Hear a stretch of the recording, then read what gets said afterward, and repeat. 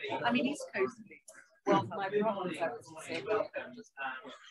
My name is Adam Smith. I'm the director of it's a huge pleasure to uh, welcome you all here to this uh, Williams Centre event.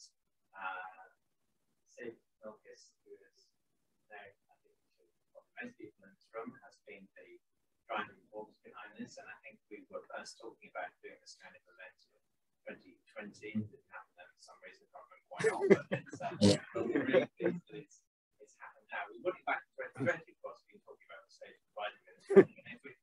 in fact, we had put on an event and then that we would be in two years' time talking about this state about the Biden administration. Um, well, surprised, um, relieved, astonished. Um, I, you know, I can't remember exactly what the so, but anyway, but here we are, and we've got an incredibly impressive uh, list of speakers, um, both this morning and this afternoon. Thank you for coming. Do have yourselves to coffee and, things outside. Will be lunch provided at the end of this session.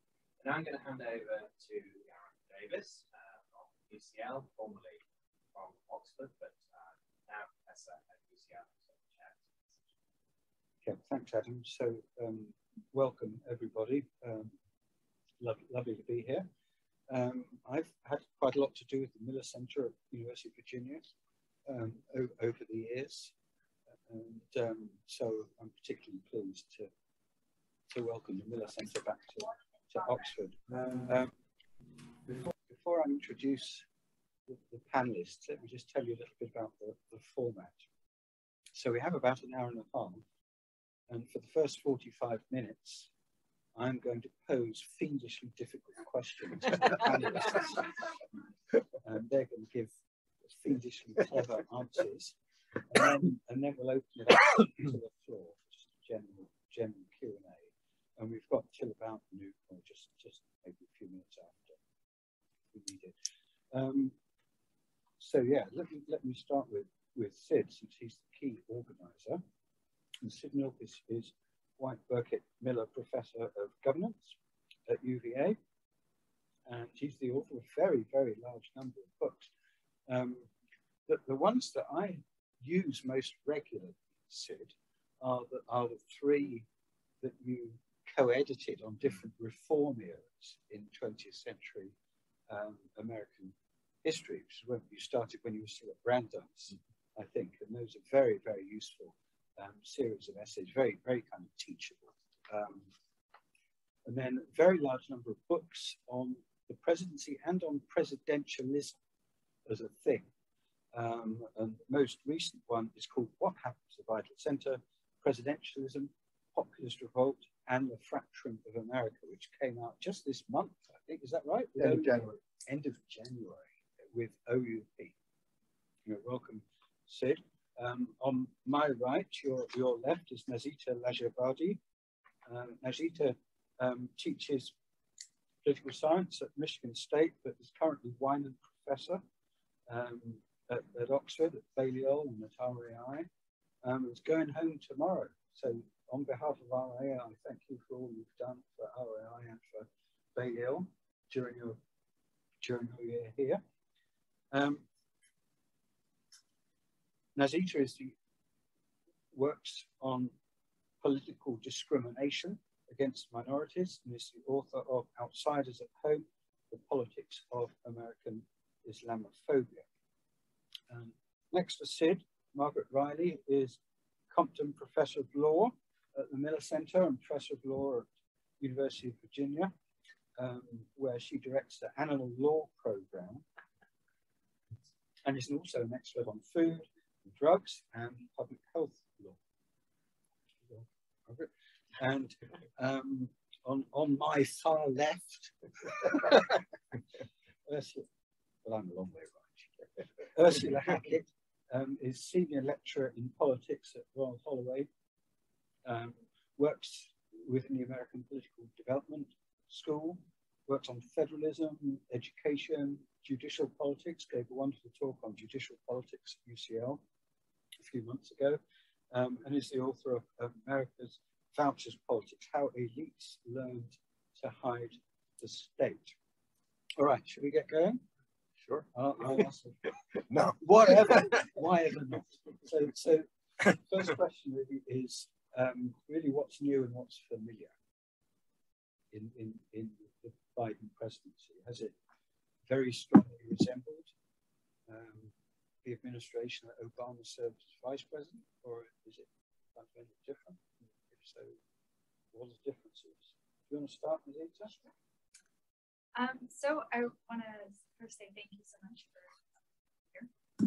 I think this is a an important question because I think we see a lot of familiarities.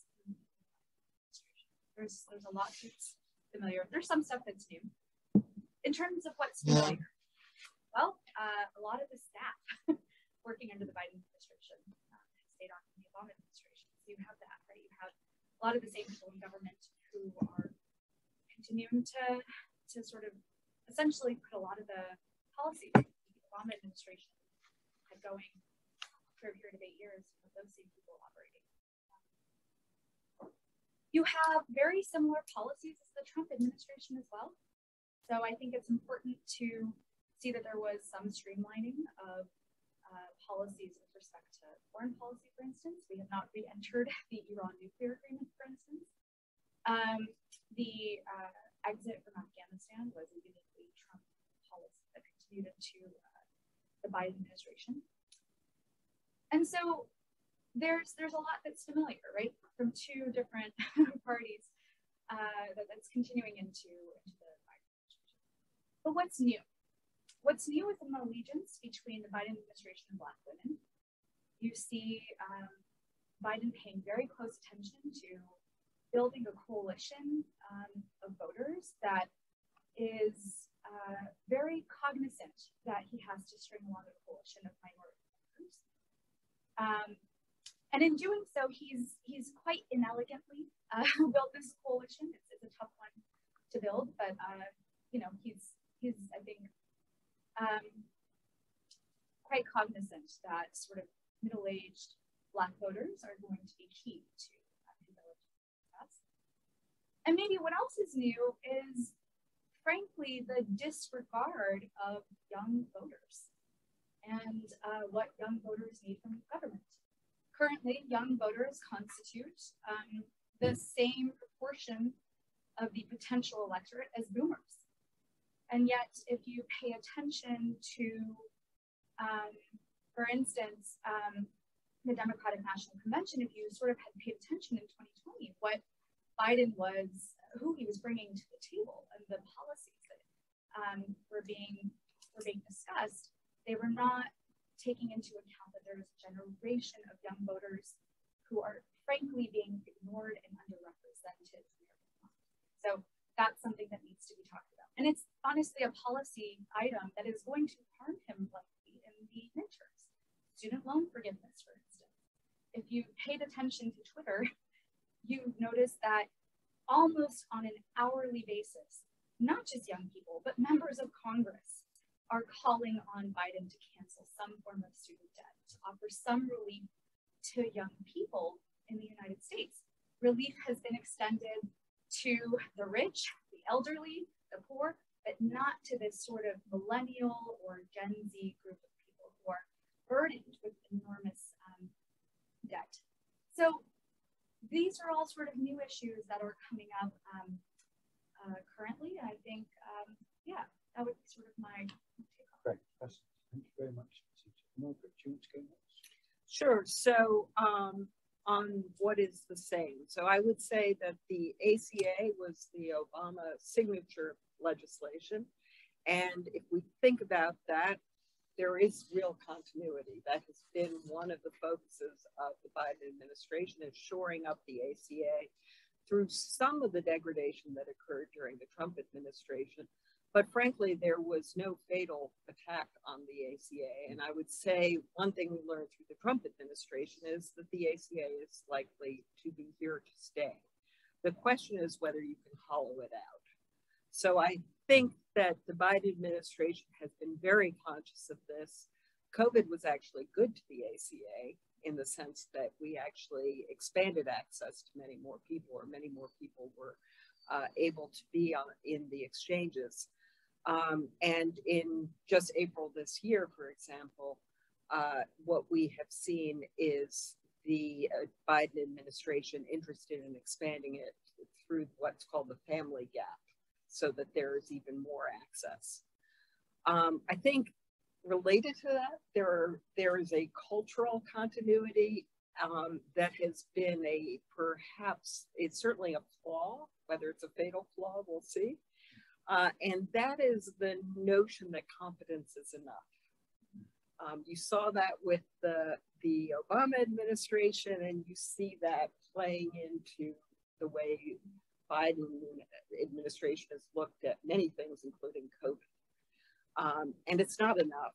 Um, and they're not going to get credit for many of the very competent things they've done with COVID because they've had a very mixed communication and also a misunderstanding of some of the cultural elements of the United States, uh, which became, frankly, even stronger during the Trump administration. We moved into a real populist notion and also a very federalist notion of looking at how the different states play out. Uh, so if I look at that, um, it's a mixture of both the good and the bad of, of parts of the Obama piece, but also I think we have to remember that the Trump administration changed things dramatically culturally. Um, and that is going to play out throughout. I think if if had his druthers, you'd see a Biden focusing, and you do see Biden focusing on infrastructure, but it keeps getting stopped in Congress. Um, and so we'll have to see how that all plays out. I think I think there's going to be a bit of a walloping in the midterms. The real question to me is how that plays out to the, the presidential election in 2024. Sorry, Margaret, how, how different is that, um, that, that sort of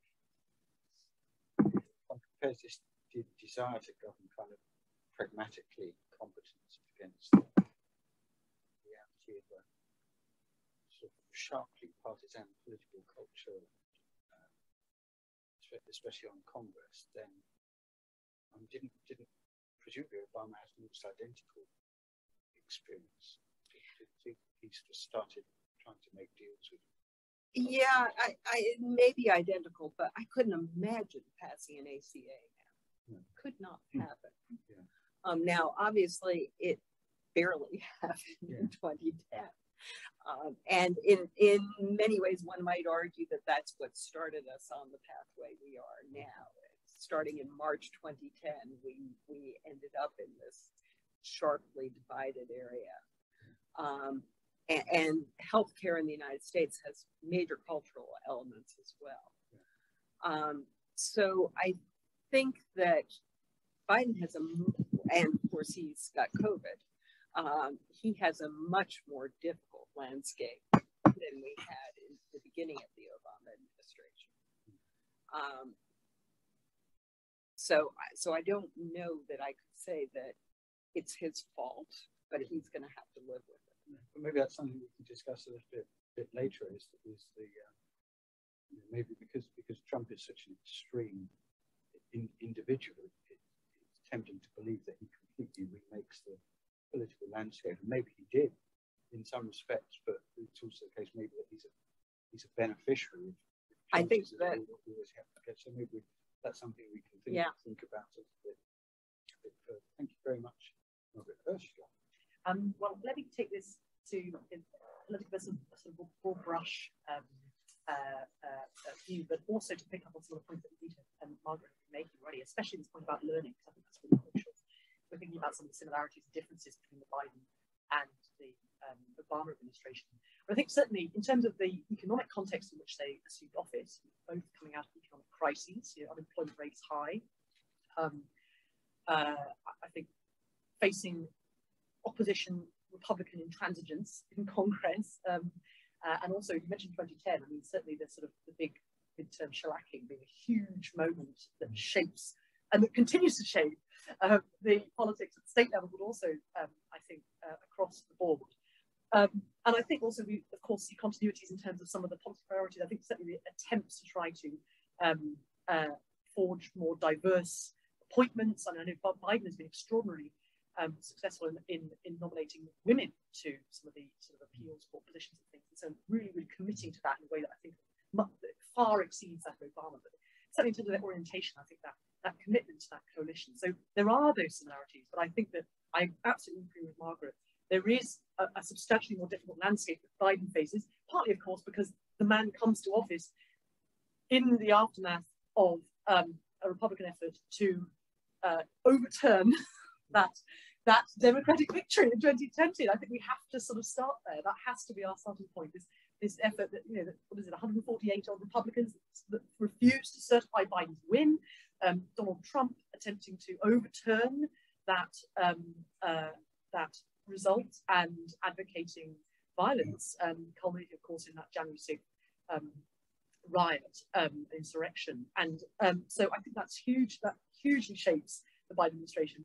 Um, I think that uh, there are one other difference that I see, and perhaps this is more of a, um, this is where the, I absolutely agree that there is, there are these enormous difficulties that the Biden administration faces. Um, certainly, it's a far more polarized context, I think Gareth mentioned this, than was even during Obama's time in office. Um, uh, you know, the, the, the average Senate uh, Democrat is far to the left than the left of the Democrats that were there in Congress during Obama's time in office. Okay, so we've got this greater sorting, we've got this polarization. But there are the one thing I do see on the part of the Biden administration is learning about the, the, the depth of that intransigence on the part of the opposition. About that, you know, you saw, for example, in the Obama administration, those efforts to reach out again and again to Republican opponents within Congress and trying to work with them, trying to achieve some compromise. We have seen some of that with, with Biden, but I think that certainly with respect to the um, uh, sort of efforts on infrastructure and so on, they, they had one meeting, they think, right, we're going to go for reconciliation. This is the moment we're going to try, we're going to have to bypass this because we understand that um, we, you know, this isn't going to be um, a successful route for us. I think there's an understanding also about the importance of going big with some of these initiatives. Um, stimulus, for example, two and a half times bigger than Obama's um, um, you know, cash payments as well, $1,400 um, people, very visible. Um, I think that there is, there, there is some learning that has taken place over that time uh, between the Obama administration and the Biden administration about what is, um, what is possible within this very, very difficult political environment and economic environment. Um, and, but I, I, think I also see policy differences as well. I mean, I, I, focus on education. I mean, it's interesting to note um, with respect to the Obama administration, they had leveraged extraordinary change in the educational arena through a very unusual set of circumstances, which was that the No Child Left Behind law was due to be reauthorized and had been, and Congress had failed to reauthorize it for about seven years over the course much of his presidency.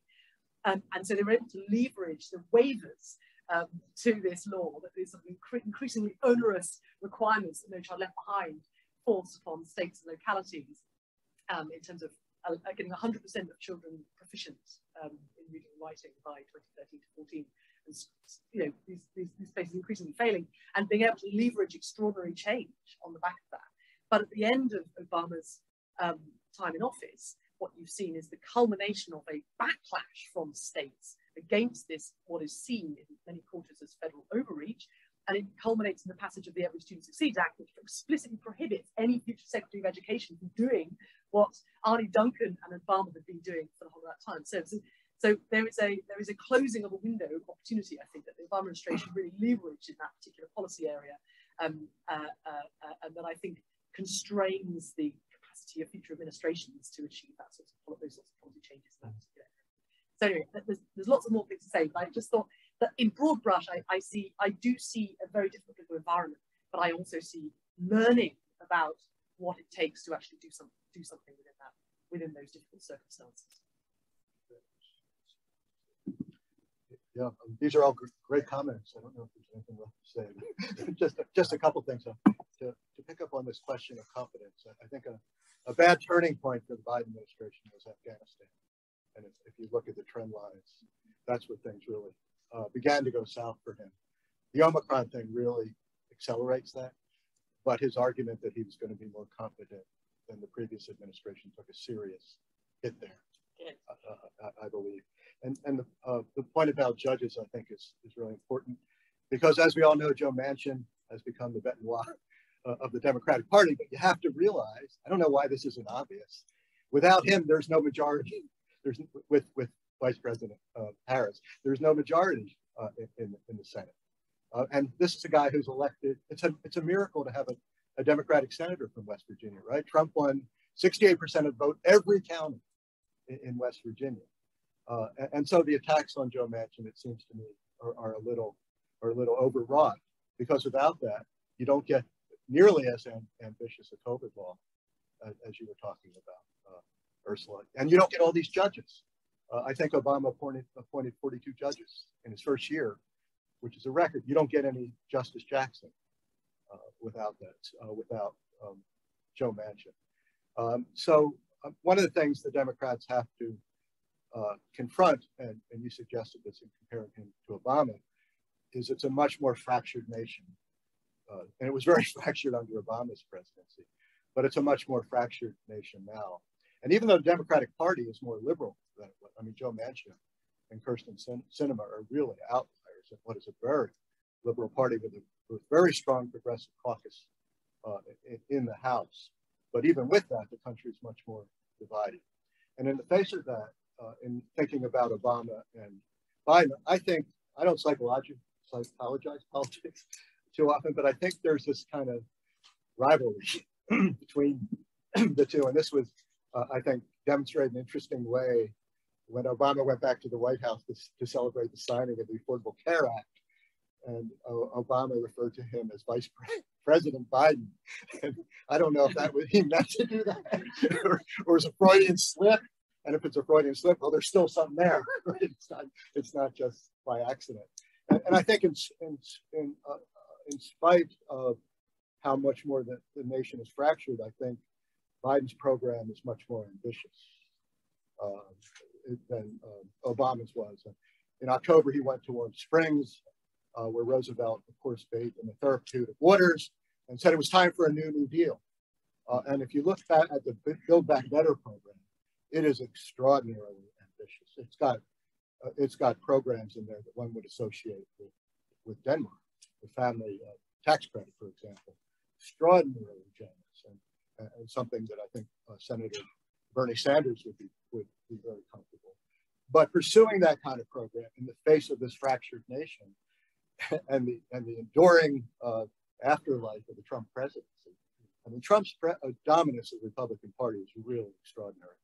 Uh, uh, I mean, I don't know the history of every president who lost who lost an election, but I don't think there's ever been one where the party worships him uh, in the way that, that after losing every every um, every uh, institution in, in, the, in the in the national uh, government, losing the presidency, losing the Senate, he's worshipped uh, and hanging and hanging there and still questioning, um, still questioning the legitimacy of, of, of Biden's election. Today, there's going to be a very important uh, primary in Pennsylvania uh, for the Senate governorship. I don't think there's a Republican candidate who's willing to claim that Biden uh, ha has won the election. So, in the face of this ambition clashing up against this this really really polarized country, uh, I, I, think it's not surprising that Biden, Biden's had a rough road.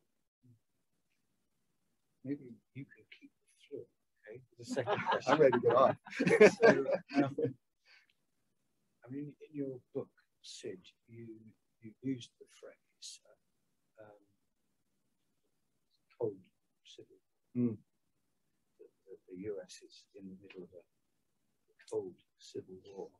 And I wanted to um, ask you all um, how you would characterize the Biden administration's, well, first of all, how you would define that, and second, how, how you would characterize um, Biden's response to that cold civil war. Do you start? Uh, sure. Uh, but uh, that's not my term, but it's a term no. that, that I, I, I, think it's interesting it's been used because, yeah. Uh, you know, I, I always uh, tell my students, you know, this isn't the first time we've had polarization in, in the country um, right? We've had almost every period of major change in American politics. The country has been badly uh, polarized. Uh, and the most dramatic example of that, of course, is, is the Civil War. Um, and, and, we had a civil, we had a shooting civil war Um, so the fact that that's the parallel, political historians and politi- historically savvy political scientists that's pretty disconcerting. And, and so what it means to me is that both sides view each other as an existential threat to, to the country. They don't view the opposition uh, as, as legitimate. Um, and, and I think what, what adds to this polarization is that, um, that the country is, uh, is split geographically. So we have red and blue America in, each, uh, which, which accentuates this kind of, of, of deep uh, polarization. And, you know, Biden uh, promised to restore the soul of American politics, to be a uniter rather than a divider. And I think there have been some efforts in, in, in doing that. I, but I agree with Ursula that there was not quite as much as there was with the Obama uh, administration. And I think, again, going back to this pursuing a new Deal, um, um, and, and, and, you know, I'm not blaming the, the accentuation of polarization on Biden. The Republican Party has been extraordinarily intransigent. Uh, the filibuster is used routinely in, in American uh, politics. But, but I don't think you can, you, uh, you can say that Biden's done everything he can, nor nor should you say perhaps that he should do everything he can to heal that heal that polarization. Do you, so, do you think the new new New Deal is that primarily an effort to kind of just change the conversation so to deal with this cultural civil war by just talking about other things mm. that are potentially a bit less divisive? Yeah, I think there, there's a, a I know there's arguments in the Democratic Party about what to do about economic issues yeah. Versus, I hate the term identity politics because yeah. I don't think it it shows it, it, it, it shows enough uh, respect for how important uh, those kind of issues are, race, ethnicity, uh, sexual identity. But there's an argument going on right now in the Democratic Party.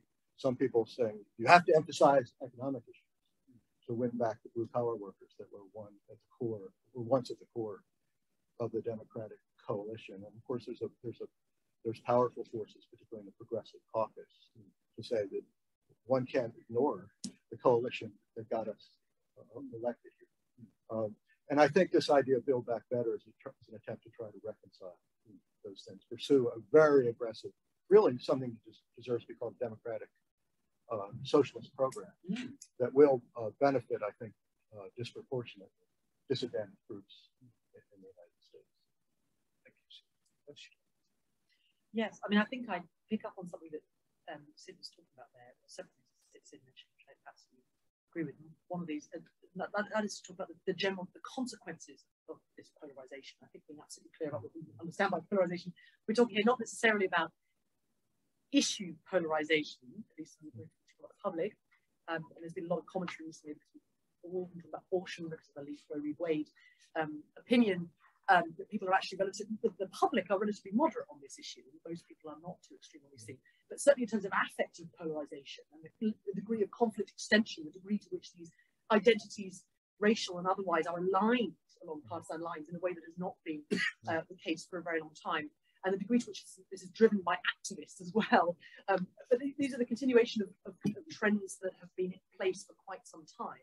And I think all presidents have to deal increasingly with that, those, that polarization. I think that there are several consequences of it. As Sid mentions, the routine use of the filibuster as part of uh, lawmaking. Um, Frances Lee and Jim Curry have got a wonderful book hmm. um, about Congress and, and, and in particular what they call unorthodox lawmaking, the sort of sense that that becomes a routine, uh, the routine use of these, um, uh, these various procedures to try to achieve some uh, legislative um, success in this system that is, that is, that is increasingly difficult to navigate.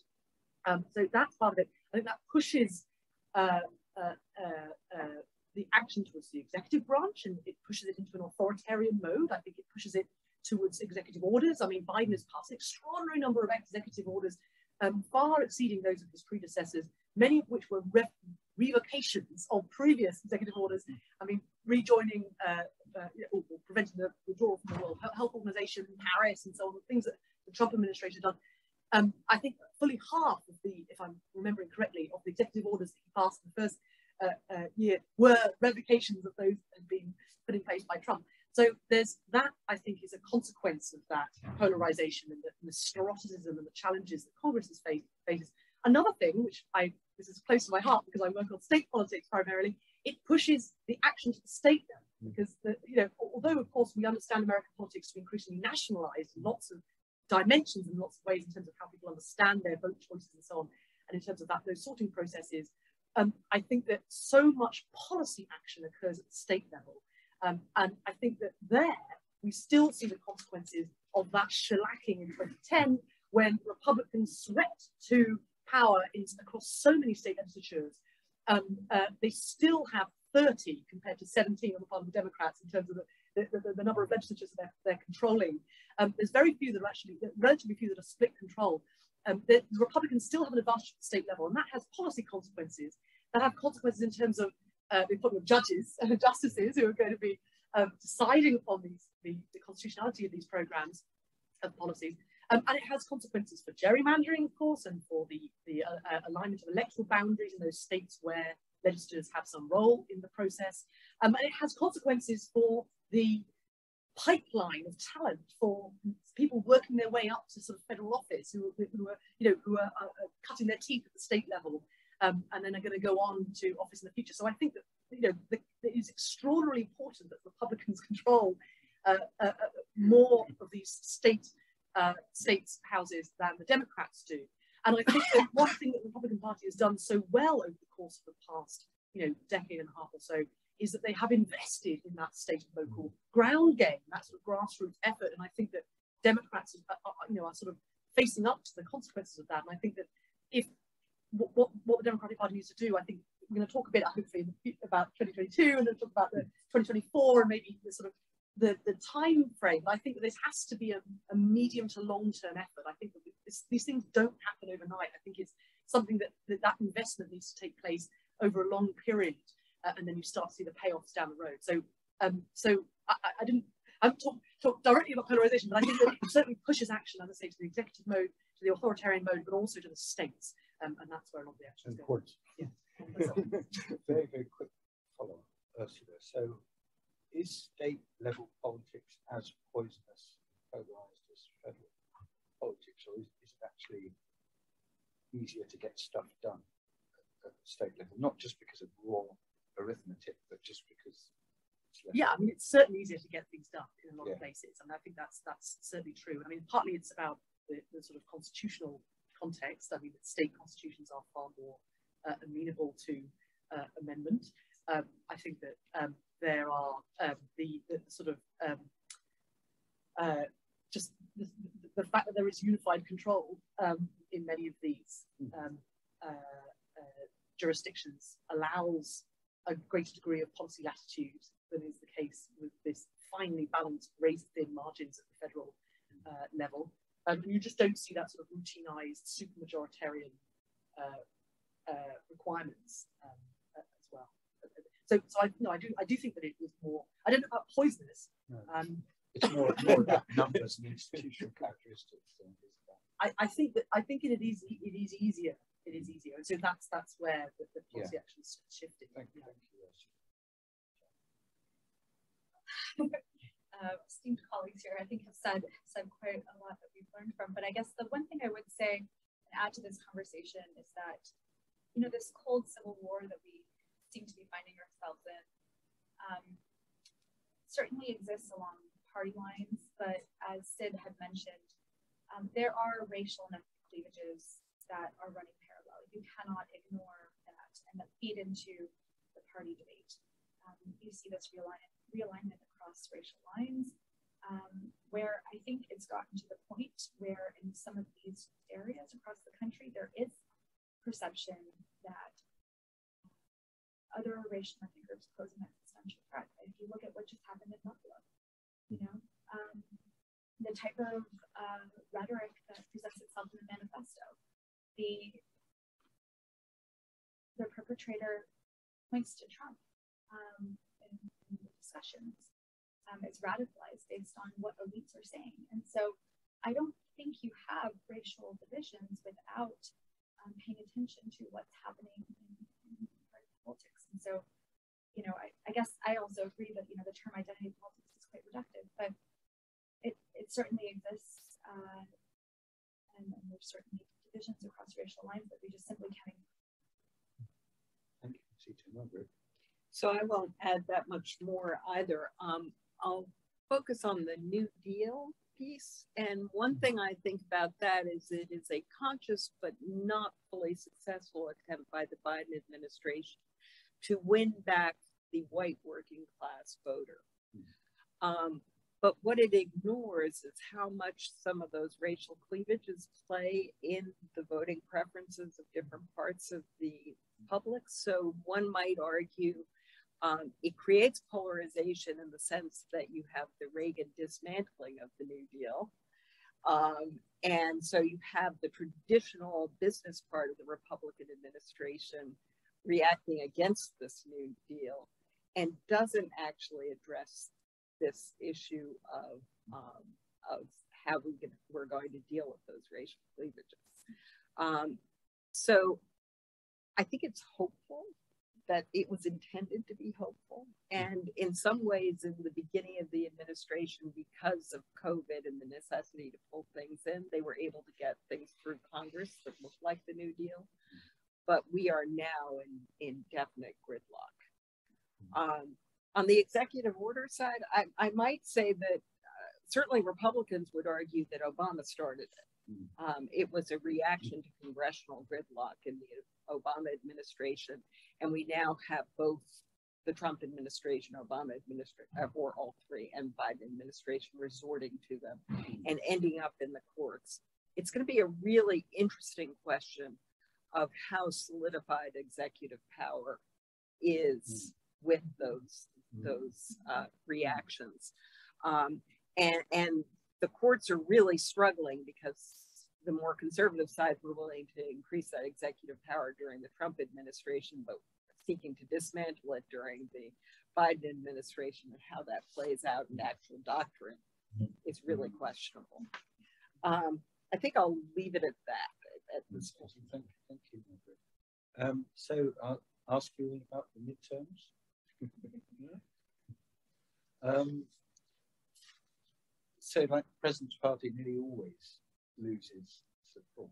And part of me is wondering whether this year could be another, um, to borrow from Ursula, shellacking.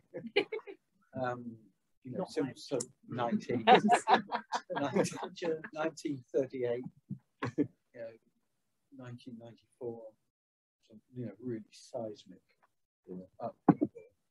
Um, and what sorts of things Biden and Democrats can do to mitigate that, and whether judicial politics might change the story. I get to go first. Great.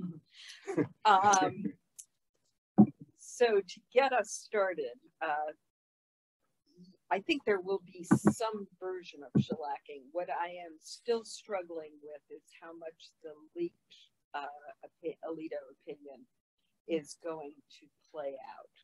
So here's my my hunch. I think the shellacking continues in the House because there's such gerrymandering of districts that you're going to see base voting, and those base votings are going to be exacerbated by the economy.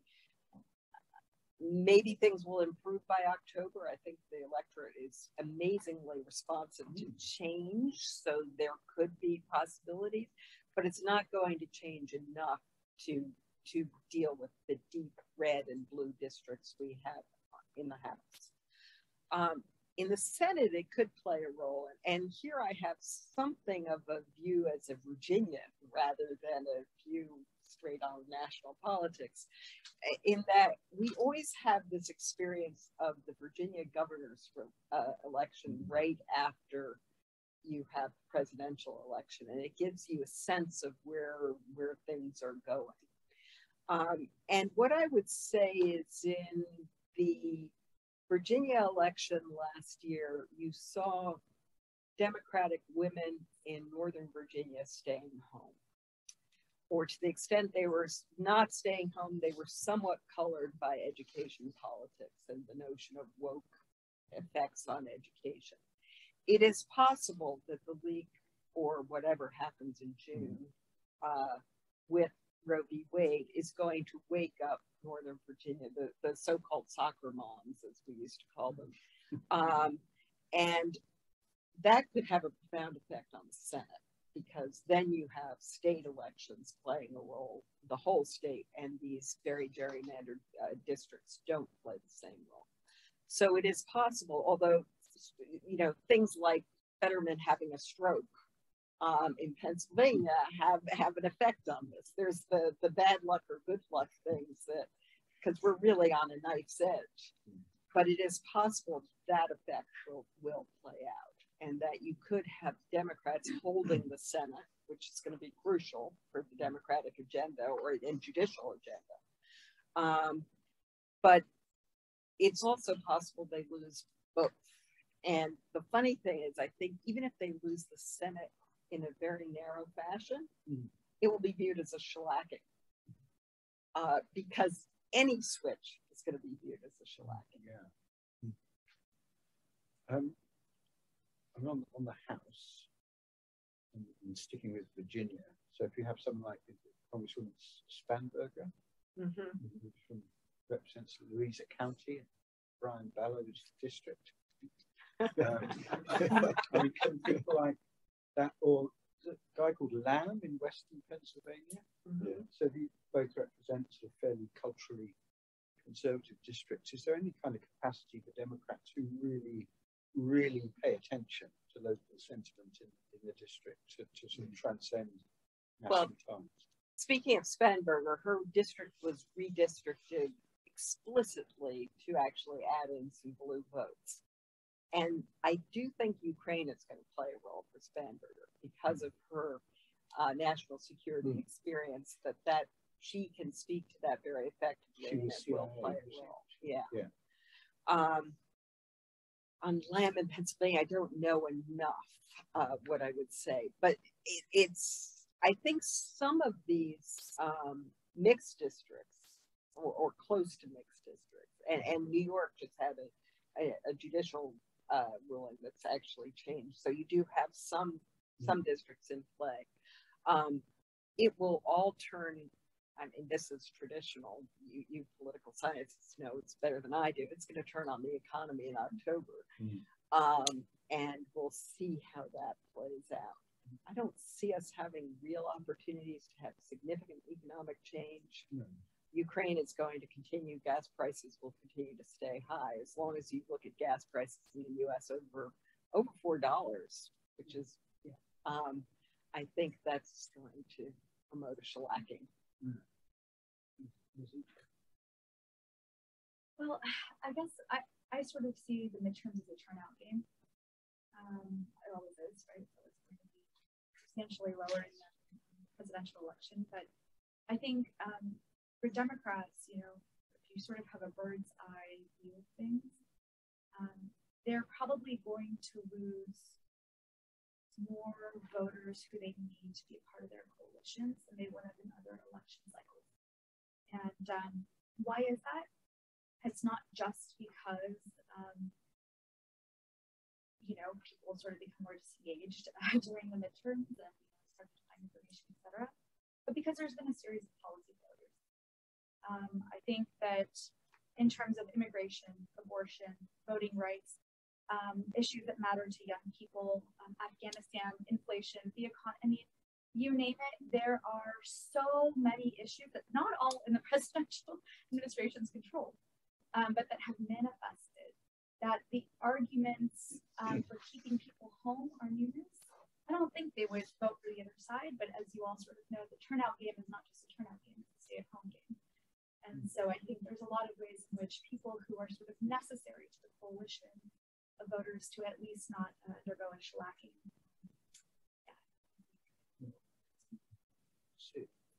Yeah. I don't. I don't think the uh, Democrats will lose 62 seats.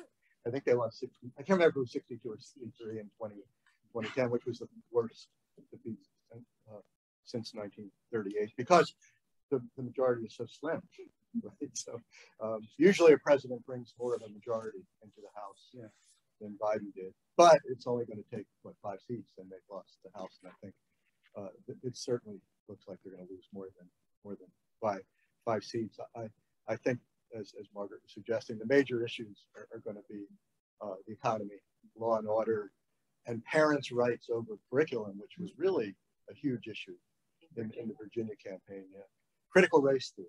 Um, I was a student did her honors thesis on this did a study of every curriculum uh, in Virginia. Nowhere was there to be found critical race theory. But in spite of that, the, the issue is, is a very powerful one. I, I yeah, our, we have great, great honor students. some of my colleagues can certainly uh, uh, attest to. Uh, I do think the um, the abortion issue could have an effect because it's uh, it, the, the, turnout in midterm elections is lower, 40% uh, is high. So the base voting is very important. And this is an important issue yeah. for the base. So the so-called enthusiasm gap, which is, I think, real, that might be narrowed somewhat, particularly with, with young people uh, who, who, as Nazita pointed out very rightly, are, are really disenchanted with, with uh, the Biden administration. Um, so, uh, you know, I, I, think they're going to lose. I don't think it's going to be as, but it, it's going to be as dramatic as past shellackings. But as you say, Margaret, if they lose the House, that's that's a huge thing. I think we have to watch the Senate uh, and see what happens there. The, the Democrats are defending a lot fewer seats, mm. and they're not defending any seats in states uh, that Trump won. Uh, whereas the Republicans are defending a lot more seats, and two of them are in states that Biden won, Wisconsin and Pennsylvania. So, uh, and I, I, think there's uh, four states one, one should look at, uh, um, five states in particular. Uh, I'm never, I'm never very good at math, but it's four or five. You guys tell me when I list them. So uh, keep, keep count here. Uh, so Nevada, Wisconsin, Arizona, New Hampshire, and that was that five. New Hampshire, Pennsylvania, Wisconsin, Wisconsin, Nevada. So that, that is fine. Yeah. Yeah. Yeah. five or five or six. Yeah. So those are those are really key states, right. and I think it'll be really interesting who gets the nomination for the Senate in, in, Pennsylvania. So there's this. I don't know if you guys have followed this guy, it's John. Crazy. What's his second name, John? Uh, John oh. Fetterman. John Fetterman. Six foot eight, campaigns in shorts.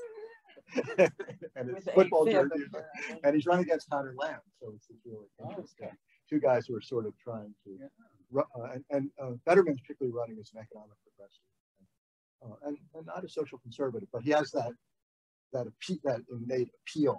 Uh, like he, he campaigns in bars mostly.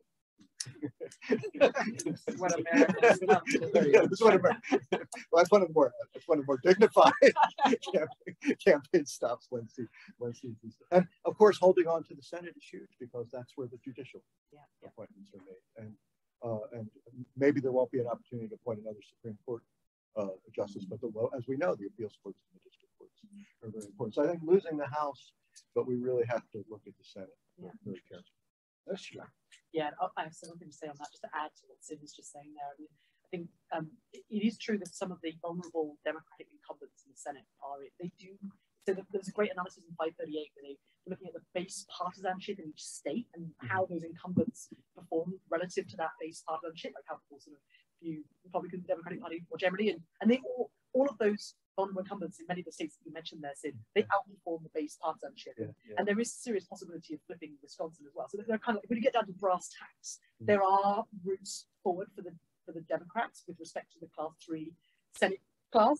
They have not got that. 2024 is going to be dreadful for the Democrats. They, yeah. They've got a terrible map. So it, you know, the map matters. I mean, when, when you get like down to it. So I, I, really don't. I wouldn't be confident making a prediction about the Senate because I think it really is going to come down to these little these individual races and, and what, what happens in those in those in those particular moments. But I think that um, I'd absolutely agree with all of the rest of the panelists who saying this is about mobilization. This is, this is you know, the, the, there's been all this hysterical commentary about the, the, the Roe v. Wade leak and its possible effect it's, you know, it's not going to change anyone's minds, guys. I mean, like, we're all really, you know, Americans are pretty well sorted on that. I think it, it does come down to exactly as Margaret says, it's college educated white women. Like, where are they going to turn out or are they not? I think mobilization is going to be really important because, as we know, differential turnout is what shapes midterm election uh, results. I think the question in my mind is about the relative importance of all these things in, in what Nazita was saying. It's a really crowded field here. I think the economy, historic uh, inflation, terrible gas prices. They're saying that they're going to stabilize, but it's still going to be really terrible. So I, I just, you know, even when you set that against kind of lower unemployment, higher job, you know, all this stuff that just gets drowned out in the kind of general cost of living kind of, you know, uh, crisis, frankly. Um, so I, I, I just, I, that that's what gives me pause because I think, well, mm. on the one hand, there may well be a mobilizing effect on a lot of these sort of cultural, cultural things, not only abortion, but also I think the question about, you know, whether they can, whether the Democrats can say, look, these guys, you know, our opponents are talking about you know, trying to ban books in your kids' school and making, yeah. you know, and, and, and, and, dealing with these issues about trans rights that affect like less than 1% of, of kids and, you know, making it without and not focusing on the economy. So that is a potentially powerful messaging strategy, yeah. but whether that cuts through when you've got, you know, we know that under unified control, that's when the midterm uh, decline is greater historically for the president's party. If there's unified government, that you know they, they suffer more um, and, and also just in the context of this just just appalling levels, historical historic levels of inflation. I, just I just don't know whether that cuts through. Yeah. Um, um, and, and so I you know I'm kind of a pessimist, I guess actually. And certainly with respect to the House, perhaps also with the Senate. Yeah. The, the turnout was about 35 percent midterms. Is that yeah. right? Between, between 30 and 40. 40 moved up a little bit. Yeah. yeah. And one thing Trump did is enhance interest in, in politics. Yeah, the base so, comes out. So in 2018, I believe it was up to 40, 40%. College students also voted at astronomically high yeah. rates compared yeah. to prior years. Yeah, I think in addition to suburban women, youth right. is really yes, critical. Yes. That, that's one of the things that really. Yeah. Yeah. yeah. We'll have to watch and see if Biden cancels student loans. October. Wow. that, they're putting a lot of the, the progressive congressional progressive caucus. Yeah. Gave him a long list of things after the Build Back Better didn't pass that he should be unilaterally top of the list with student loans. Climate and then that fails. oh, climate, climate too, but yeah. yeah. I, I want to go to Q and A. Are there any issues that you all want to put onto the table that you think we ought to talk about? Uh, well, I'll, I'll, raise one thing that we haven't talked about, yeah, which yeah. is remarkable, um, and, and I think that um, it could color the election. Okay. And that's COVID. It's, oh, it's oh, remarkable right. how, oh, yeah. how little we have and, and I could imagine, um, just based on biology, that we have a surge coming in October, November. And the Biden administration is going to be really struggling at that point what to do about it because we're all over COVID. There is no mask in this room was, there was one. one um, God bless her. uh, we flew on the plane. COVID was done, and you know, no one had masks on on our plane. Um, and and yet COVID isn't done. And if we have a bad variant, and the Obama, uh, Obama, the Biden administration is struggling what to do, my hunch is we certainly don't go to a lockdown, but anything they do is going to be divisive, and it could it could swing every one of those senators. Mm, um, and so that's one sort of, I don't know what's going to happen. No one does, but it could have a, ma- a major change. So um, I, I, should have done this earlier is welcome people who are watching us from afar, or at least not from the room. and um, Adam is got his eagle eye on questions via Zoom. So um, I'm going to ask for a couple of questions from the floor, and then Adam, I'm going to ask you to feed in maybe a couple of questions from the Zoom chat. So who would like to go first? Yeah.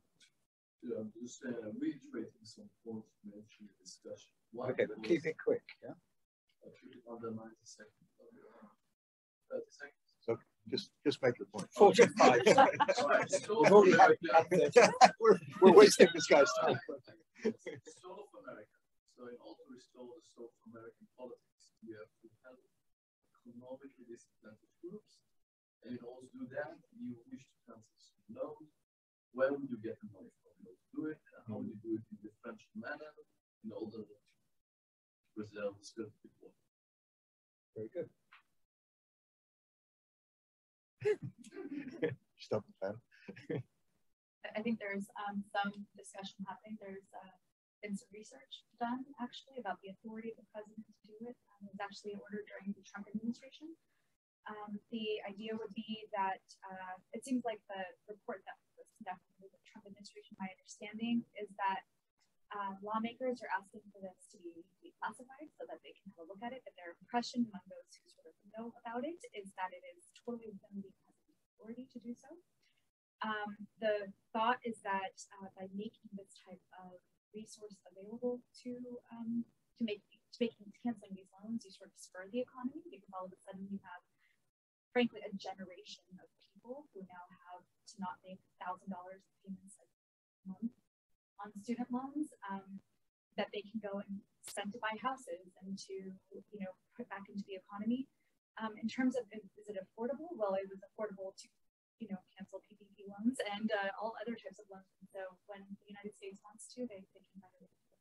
That's great. And how would that affect inflation, which is always skyrocketing? I'm not.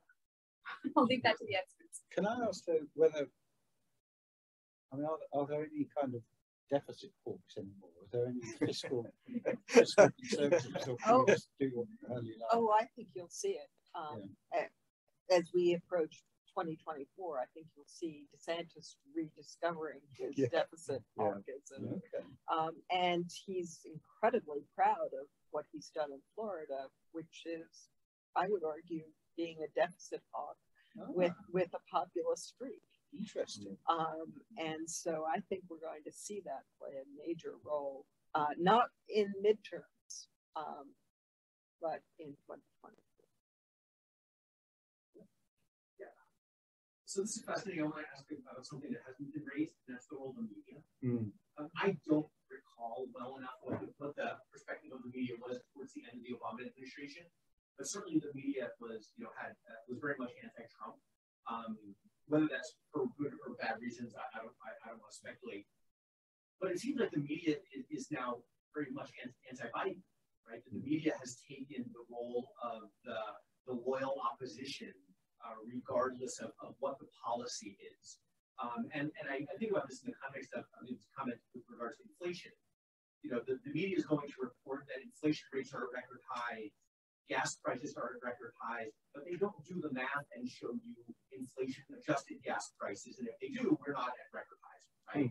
And so it seems uh, what I'm wondering is, you know, what role does the media play, say, and did Trump did the Trump administration move the needle on the media from reporting to the media now wanting to be an active player in uh, the American political dialogue. Isn't Trump being allowed back on Twitter? by the way? I think that's pending okay, the- so We don't know. yeah, we don't know. that's Yeah. right. Because there is some really interesting research that's all about the, the, the use of um, consumption of online partisan media and its and its role in eroding trust in mainstream media, but also eroding trust in, in, in political institutions and politics more broadly. And so I think that's absolutely part of it. And I think that that, that is being supercharged in the course of the Trump administration and, and, and, and into this current administration. So I think that absolutely plays a role. And I think that, I mean, that's what, that's, the, that is the basis upon which the economists downgraded the United States democracy to flawed democracy back in 2016, right? That it was eroding trust. That was the, that was the, um, the, the, the, the sort of litmus test that, that they, they uh, reduced levels of trust and that the, the, the, the, I mean, I suppose also more broadly, you know, a lack of shared reality about what, um, uh, what is at stake uh, uh, and so on um, within politics. I think that the, the media and the, the, sort of partisan media in particular has a really real role to play within that. So um, yeah, I think that, I think that these things are these are. I'm not really answering your question, but I, th- I, I think we have to set it against that backdrop of, of eroding trust, um, and I think that those trends are only going to continue um, and to continue to shape shape politics. I, I think, I'm sorry. go ahead. No, no, No, you go. I was just going to say quickly, I think this is a great uh, question, David. I think this decline of trust is deep rooted, and it goes back really to the 60s uh, when you really get the development of an anti institutional kind of, press. And of course, it's accentuated uh, at- certain times. Um, and uh, I, I think there's also this notion in opposition that there's an equivalence that one has to be as hard on the right as the left, even though there may uh, parties may not be equally guilty in certain problems that, that, that plague the country. For example, uh, the, coverage of Trump versus Hillary Clinton and the emphasis that's put on Hillary Clinton's email. Remember that? Doesn't that seem quite now? Hillary Clinton's emails, but they're putting as much emphasis with that on all these things, that this, this provocations that that were part of the the, the, the Trump uh, campaign. Uh, and there's been very little. Uh, I think you're right. There's been very little attention. To, Biden has accomplished some really important things. There's been very little attention. I don't know that the general public knows anything about the infrastructure bill, what, what's in it, how it's how it's being uh, implemented. I think uh, Ursula's last point that the emergence of social media has really sharpened the edge of, media coverage and made it much more partisan. And one of the um, paradoxes I, have noted studying the presidency, and this goes to the, the importance of executive orders in a, in a gridlock country, um, is uh, so so the party in power is all for the president. The party, those who, who do not are outside the president's party, uh, are, are, very much opposed to, to presidential power. So my this thing I've been struggling with to figure out is the whole country loves the presidency, but half the country hates the president. and, and, and I, I, think the uh, uh, the social media and the kind of anti-institutional approach that even the more conventional established media, I, I think expresses that. What's Biden's popularity rate? 42. It, it, you know, in Ukraine, it has inched up.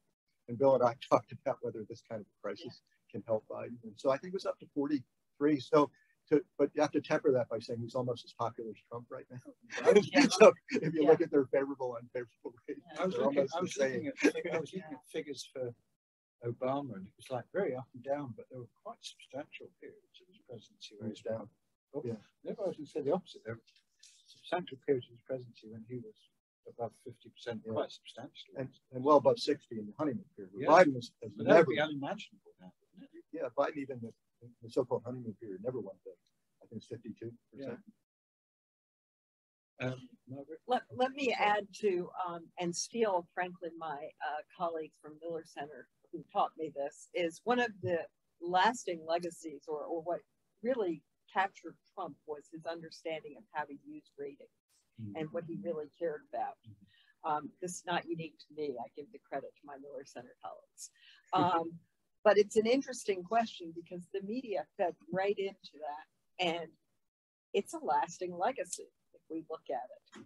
Um, it's played out with COVID, it's played out with every step of, the, of Biden's presidency. And I don't see that going away. And, and it's not even dependent on social media. It's very popular to go after big tech and social media, but it's mainstream media that mm-hmm. has fallen into this as well. I just want to call on Adam first, if that's okay. Well, um, the, the, the, question is still pending from the um, the online uh, audience is from Richard Johnson, although oh. he, he posted this question earlier in the discussion and, and we all, we all you, you may you may feel that you've already answered it. I'll read out the question anyway. What what it is is about the Alito decision, um, the, oh. the, the Alito uh, decision. Um, what impact um, do you think will have on parties in terms of the, the Biden administration? Yeah. We want to come back to that. We, we uh, I'd like to hear what Richard had to say. Richard, Richard, Richard, Richard could definitely add to what we Richard, ask another question. Good to see you, Richard.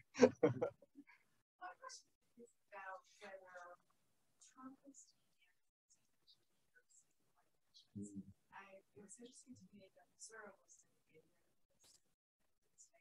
Yeah.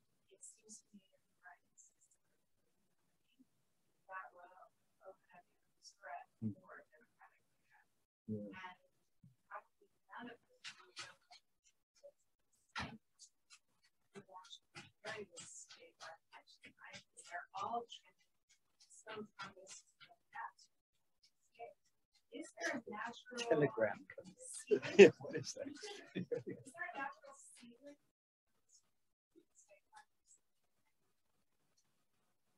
So I am I think Ukraine plays an interesting role here.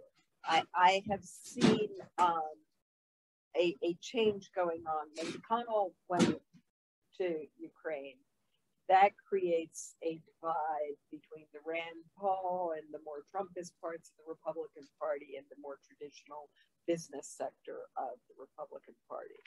if that continues, I think it may be hard for a Trumpist can, uh, candidate, unless depending on, you know, there there are some states that are so red they'll just vote against Democrat no matter what. Um, but in the current landscape, I think it's going to be interesting to see it because it's going to affect turnout. Um, and I don't know what's going to play out. That's just started. I mean, Trump's had an extraordinary degree of successes in terms of his the primary um, uh, uh, uh, uh, candidates that he's endorsed have done extraordinarily well, right? I think he, he just recently had a had a had a had a, had a failure, Yeah. but, but it- there'd been like a run of Was what, it Nebraska? 40 The Nebraska. yeah, governor's yeah. I think so. Yeah. So like, so, so, so, but I don't. I mean, this isn't a broader question. But I think you're right. I think it comes down to um, the con- the consequences of you know that that that war that is currently being played out between the Trumpist wing and the establishment, what we might understand as the establishment wing of the GOP, um, and, and, and, and what happens as a result of that. So I think that's right. Yeah. Yeah, How many anti-Trump Republicans are going to survive? Like uh, Lynn Cheney, she lost her seat. She Yeah. lost a seat. I don't think any. I mean, I'll be like five or six. Yeah. Although uh, Kemp in Georgia is way ahead in the primary now, whether he wins the election. Vice President Cheney's going to campaign. for him. See how that how, how that, that that plays out. Yeah, I think it depends on on the issue. that they- So people are really focused on this inflation thing. Uh, the fact that the Republicans Trumpist, I don't think will really matter. If these other excesses excesses come into play, particularly on the social issues, Yeah. then then it may uh, in the in the in these swing states it may make a big difference, like Pennsylvania and even Missouri. I, I think Biden's new line is don't think of me as don't think of, of me as the Almighty. Think of the alternative. That's the winning line of today. That's Biden's line, and, and so that may work. That's a really good question. Yeah, on, on that note, I saw a bumper sticker in Charlotte. Zelensky 2024. yeah, Um, yeah, it's like Biden could have won an open a landslide in France. Zelensky could have won a landslide. But I, I wanted to ask about um, how, how you all think, or whoever wants to answer, uh, Biden has handled the tension within the Democratic Party. Progressive. Some of you all, or some of you alluded to progressive caucus and voter base and moderates. Uh, you know, Biden's instincts were way back are moderate, but the party has shifted. The country, the country's more polarized. Both right and left have shifted uh, away from the center. And so he's got a, a big problem, both within the party and external pressure um, from the Republican electorate on, on the party. So, um, complex problem. How do you think? How do you just descriptively what, what do you think he's done? And then how have you?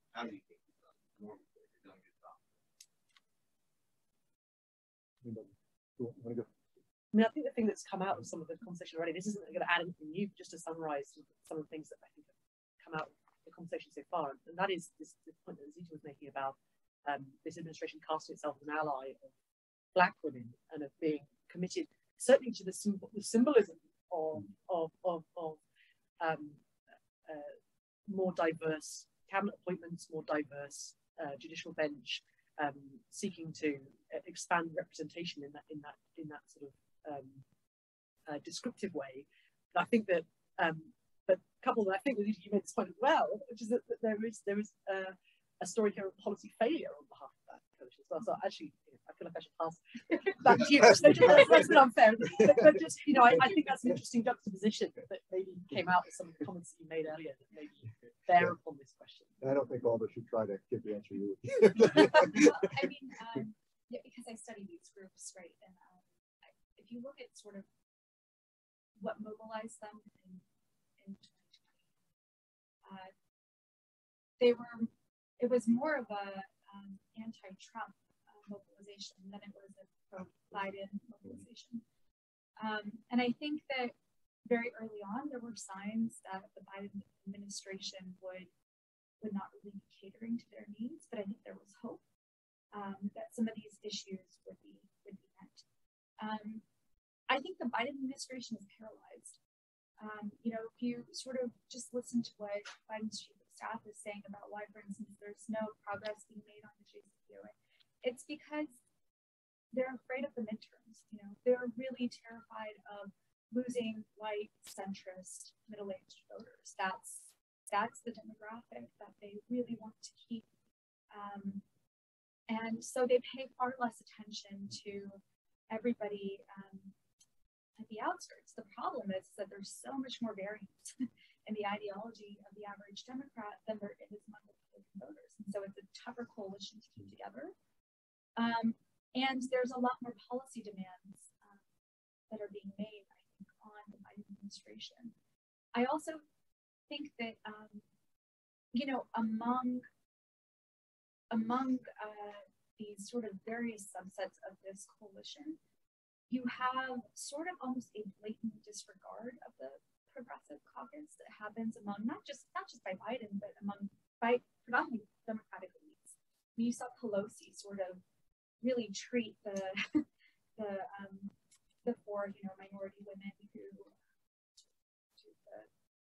the, the squad uh, quite quite negatively at the beginning of their term when they you know in the year of the woman they sort of all came in 2018 they came to power. And but that block of, of progressives in not just national elections but frankly in local um, elections is rising and it's getting uh, more and more solidified. And so you know I, think that part of this is about the democratic party where before it seemed like to have any real policy impact the view was that you had to sort of pay your dues you had to sort of stick around for a long enough time to be able to have power enough to sort of exert over the democratic agenda. And I think that's really changing because we're operating in a world that actually Donald Trump quite understands, which is we have social media. You know, um, savvy young progressives, savvy older progressives, they know how to go public. They know how to reach um, a broader uh, subset of, of people in, the United States and to really share that, that policy agenda. And so all of a sudden, people who maybe were uninterested in politics beforehand now are interested and unhappy. And so, and so these have brought in really complex dynamics um, and challenges, I think, for the Democratic elites um, because they they haven't quite understood or updated that their way that they play politics needs to change. Can I ask the panelists about um, the relationship between elite opinion and mass opinion. So you, you mentioned, Nazita, that um, the Biden administration is, is pursuing sort of white centrist voter. And is, is that like looking for a dodo or something? Or do they, do they actually, do they actually still my, my memory, who was the Republican um, who made an appearance at the DNC? Do you remember? remember it happening. It happened. Yeah. There was like a ad. It was um the guy, it was the guy from Ohio. It was a guy from Ohio. What was that guy's name? Kasich, thank you. Kasich, right? Thank, thank, so you. thank you for being exactly here. thank you. My memory is just, so like I think that's that's key, right? You just sort of look at what who was given power, right? You have a finite amount of time that you can uh, use during the convention to sort of advertise who you are and who you want to bring in and and who's welcome. And Kasich mm-hmm. was was given a ton of airtime. I mean, that's like that shows you. That's so symbolic of of how the administration is terrified of of losing out on centrist white voters who they think have sort of they're, they're sort of sitting Republican that they can take away from, Trump. So, so I do think though that if, if you look at what they're looking at, they're looking at Michigan, they're looking at Wisconsin, where their margin was those white centrist voters. Yeah. And they're they're thinking again, um, there's no alternative. Um, and and that's where I think the leaked opinion, or frankly the final opinion uh, that comes out in June, may play a role where you suddenly have it's not just abortion rights that are at stake there there are lots of other privacy yeah. rights that are just long tail there um, and if if you look at the progressive wing of the democratic party looking at those issues and suddenly threatened by them and having no alternatives i think that the biden uh, strategy looks pretty smart because they have to vote and they've got to bring in this white centrist voter um, to win. Um, now, if they don't get the progressives to turn out, that's a whole different issue. If I can just say one more thing, so Paul Frymer had um, some work out in the late 90s where he sort of opined that Black voters were a quote captured group. The Democrats saw them as a captured group. That no matter, you know, what they did policy wise, Black voters had nowhere to go. They do have somewhere to go. They stay home. And I think that is the thing that we need to think about. Well, No. And more of them voted for Trump in 2020 than I- voted among all minoritized groups, there was a larger share of Trump support by 2020 than there was in 2016 Yeah. across the board. Yeah, you know, I think, uh, John, um, the Democrats are, are a more diverse coalition than the Republicans. The Republicans have kind of become a movement party. I think the movement side of the Democratic Party has become stronger, um, but there's still a, a substantial, moderate, pragmatic uh, wing, and that has certain advantages. So that uh, if we didn't have the Electoral College, the advantage would be much greater. So I think the Democrats have won the pop, popular vote in seven of the eight last presidential elections. I'm pretty sure which has never happened before in American history, but lost two of those uh, presidential elections. So there are certain advantages to it, um, but the disadvantage is, is the management that the president has to perform. And we do have an executive-centered party now. Uh, has become much is, is much more complicated, I think, for, for better and worse for Democratic presidents than for Republican presidents. And the same kind of awkwardness, um, discomfort that Biden's displayed, Obama displayed the same thing, same kind of at the. And I know what we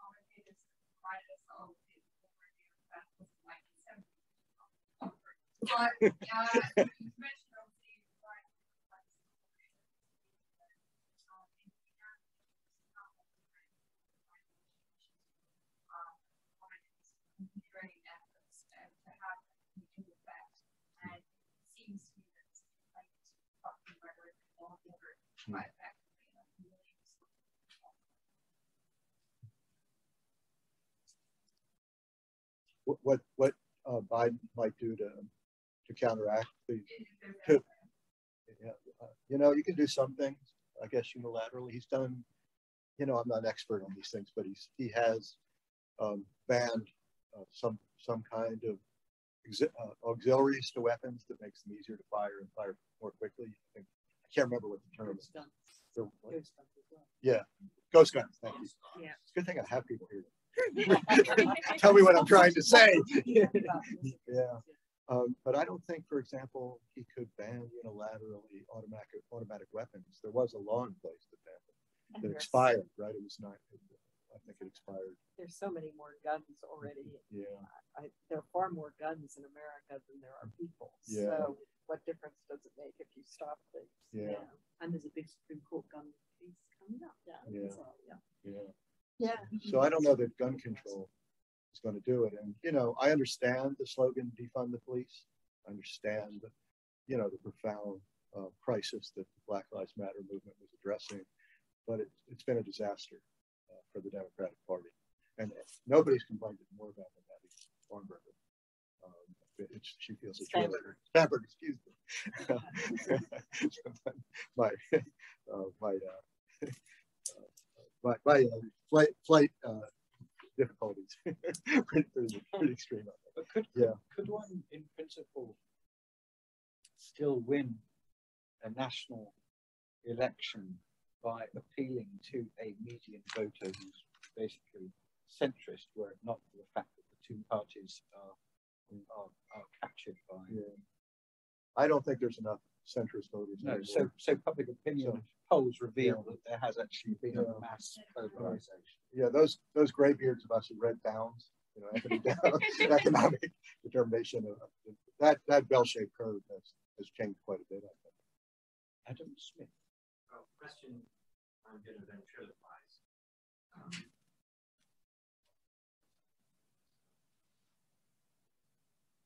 right, from um, uh, Harrington. Um, AA, AARP, I guess that's Association, American Association of Retired Survey, shows that only 17% of US women aged over 50 have decided how they will vote in November. Wow. Wow. Uh, considering how partisan the nation is, what are your thoughts regarding why this group are apparently so undecided? It's interesting you should mention old women because actually old women are amongst the most pro-choice on the abortion issue, and it's kind of it's they are the most liberal on that, area, which is an interesting thing because it's not that that is generally we think about young people as being young uh, younger cohorts being more liberal on these issues. It's old women. It's those that remember a pre-Roe world that are potentially most motivated perhaps to, to, to mobilize around this issue and, and, and that's a very interesting striking figure. I, I, I wasn't aware of that just the one. But I bet you it was done pre-leak. Uh-huh. Yeah. Um, Yeah. And, And and some updated right? Yeah. Yeah, those demonstrations last week were really impressive, Yeah. I thought. I think I read an article yesterday that said that in, in Virginia that uh, maybe so maybe it was in the Post that, that um, like 45% of voters wanted abortion laws to stay pretty much as they were. 25 to 30% wanted them to be more liberalised, and actually it's a very very small percentage yeah. wanted to be more severe. Yeah. I turned off my phone, it's still beeping it. Adam. No, you have to pretend to be somebody else. That's very cheap. Kind um, uh, big, big picture question that has to do with the future. If we're in a, a cold, um, does how do we get out of the cold civil war? Does Mm. one side have to win? Good question. I want to look at what happens in Texas. I think Texas is going to Why don't tell us cheer us up? Yeah, um, because there's all sorts of migration into Texas that's taking place. Texas has a lot of electoral votes. Um, if you ended up shifting the state house in Texas, that would have a, a, a major impact. And I think there would be effects that would actually extend out of Texas within that. Um, but I don't know other than that kind of change. I, I sometimes joke the Democrats should just move 40,000 people to Montana, but that doesn't seem to be happening. Um, but Forced migration. Yeah. Experimentalist. Yeah. There are people in Missouri. We don't, we don't need as many people in Missouri. Maybe we should but but I do think that's where we're going to start seeing some of the shifts. I think we need to look at Texas, we need to look at Arizona, um, and see how there's mo- and it could go either way, in my view.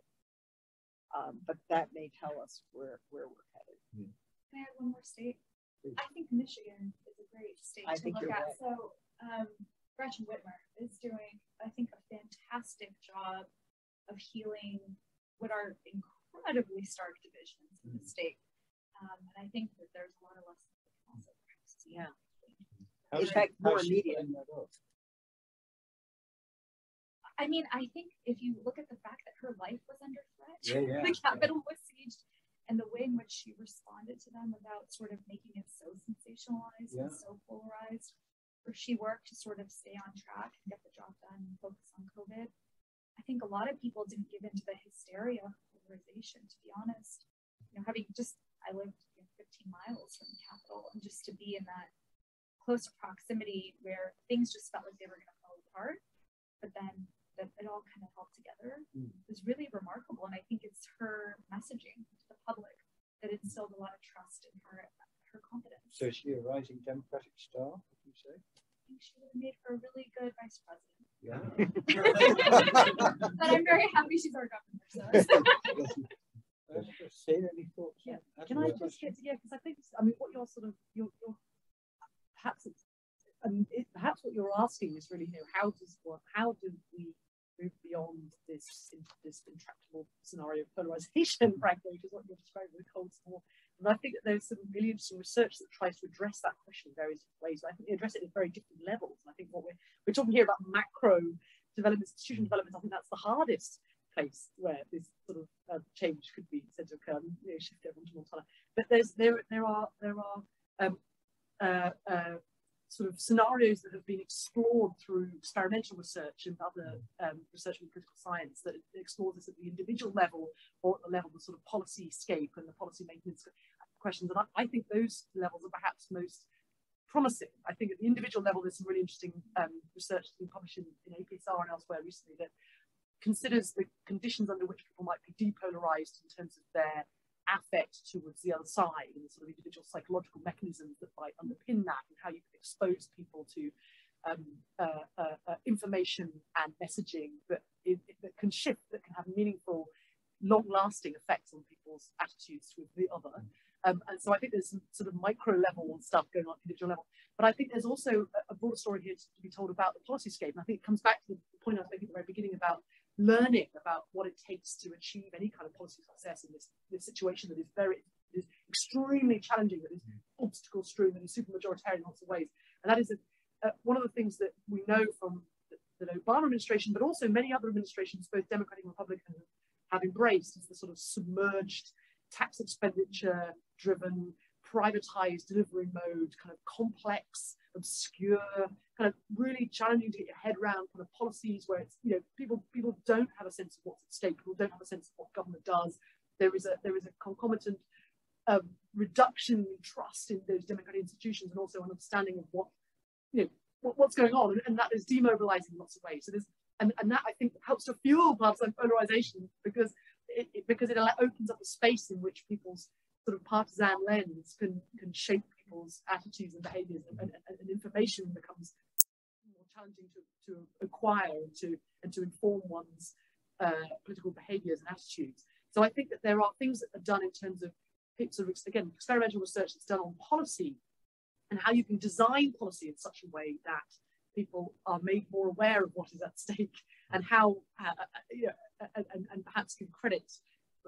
There's, there's, always a democratic bent to these things. Gives you credit to government for what it's done, type thing, um, and, and, what it continues to do, and, and then thereby perhaps influence people. So there's sort of micro level stuff. I mean, I, I think that the, the, broader macro sort of institutional context, I think it's, it's a much, much heavier um, task. And so I think my answer to your question really is, is that it, it, how do we exit this cold civil war with difficulty? um, but there, there, are things that, that, that, that, are being done that I see little green shoots where people are, are making these efforts um, uh, uh, to try to understand how, how we can how, how, how people can be can be depolarized. Yeah. But if I could just um, add from a very different coming at it from a different direction is that if, I, if, I, if the past is prologue, it may very well not be. We haven't we haven't resolved past periods of polarization through bipartisanship. One side is one. The Civil War, of course, being the most dramatic example of that. In the more peaceful resolutions, it's by drawing new people into the political process. So I think two thirds of the new voters in 1936 voted for Roosevelt and, and the Democratic Party, uh, for example. I think what's what makes it particularly difficult to break this logjam is that since the 60s, the most fraught issue of American politics has become a, a, core issue in our politics. That is race and, and ethnicity. And also, we also have all these these battles over identity uh, right now. These have always been a part of American politics, but since the 60s, they become uh, a, a much more uh, uh dominant uh, fault in the American political system. And that's going to be diff more difficult to, to, to resolve. And usually these things, I think about generational change. Uh, there, there are massive demographic changes going on in the country. Young people think about politics, even conservative young people, differently uh, uh, than, than generations before them. But demographics are not destined. And, uh, one, and Trump really proved that by drawing all kinds of new people into the political process who before felt they had they didn't have any any part in it. Uh, but I think we were talking about base elections and localization. I think that's going to be the key to resolving contemporary American politics. And if the Democrats can mobilize all their potential supporters, they may become uh, the majority party. But the Republicans proved in 2020 they can appeal to groups that were once thought lost to the Republican Party, Hispanics uh, and, and uh, people of color. How much so this populist message is something to watch, I think. How much of a, a generation gap is there in US politics. I think Britain's huge. Yeah. So I, I think it's pretty, only, only about 25% of people under 40 yeah. support conservatives. Yeah, particularly on issues like gun control and climate change. Those climate change, women's rights. Yeah. You just look at how people by a LGBT. generation vote or, or rank the most important issues. in this. Hmm. There's just massive different issue arenas in which you can consider. On that note, um, thank you for your questions. Um, thank you to people in the virtual audience for your, your questions too. And um, I'm sure you'd like to join me in thanking our panelists.